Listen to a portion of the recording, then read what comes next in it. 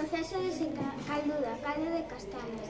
O proceso de secado das castañas permitía dispoñer o recurso ata a seguinte colleita, pero os freitos así conservados resultaban de consistencia dura ou perder a súa humidade.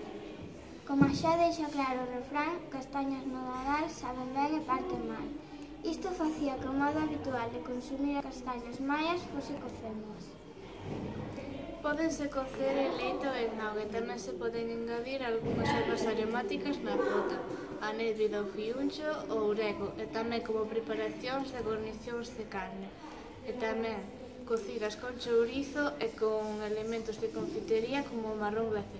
Ademais disto, tradicionalmente era típico elaborar con castañas un caldo chamado calduda, que difere do que comemos habitualmente e non conteñe nin verduras nin fabas senón únicamente castañas, garrulas con carne e, canto menos, graxa de porco. Segunda noticia, Cunqueiro, no seu libro sobre a cociña, bótaselle cebola e aire, así queda moi ben cun rostrido.